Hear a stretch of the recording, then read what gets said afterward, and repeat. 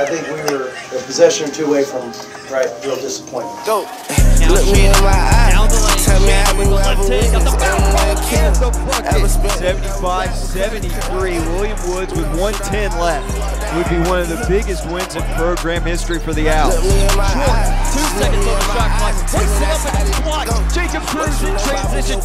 Crews with the reverse slam. It's gone. UT Martin leads with 23 seconds left. Jordan Ashton Ain't tryna fight. getting the play drawn up for his group. Get It's up the floor. get out and Jones. Three seconds left. Jones, the three for the tie. Ripped out. Rebound. The took with an early Christmas miracle. They defeat William Woods 78-75 after trailing in this game by as many as 11.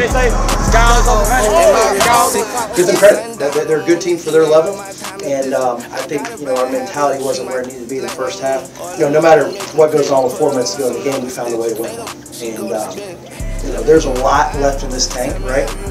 Lot left in this tank. I don't, I don't think anybody feels that we're playing our best basketball going into conference, which that's beautiful. I would hate to be playing our best basketball in December and say, hey, that's it, and we're just maxed out. I'm challenging you. You got five days. I'm challenging you physically. I'm challenging you mentally to go back, evaluate yourself, evaluate where we're at, come back refreshed, ready to have a hell of a 2024. I'm on a yacht, popping. She wanna drop my boat. And there's no reason this team can't go out and compete at the highest level. There's no reason we can't have a really special feeling from March. This thing can be awesome, that when we would kick but it's going to take what we said. It's going to take sacrifice. It's going to take playing for each other. It's